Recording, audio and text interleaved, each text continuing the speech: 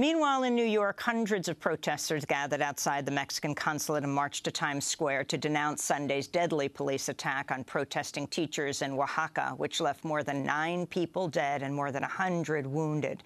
Protesters also demanded the United States stop funding the Mexican police and military. Miguel Angel Mendoza, a former Mexican teacher from Oaxaca who now lives in Connecticut, compared the case to the missing 43 student teachers from Ayotzinapa to the deaths in Oaxaca.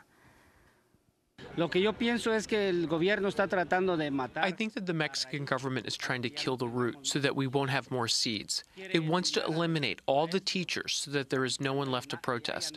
Because the teacher is the social justice fighter, the one who does the work of fighting for the rights of the communities.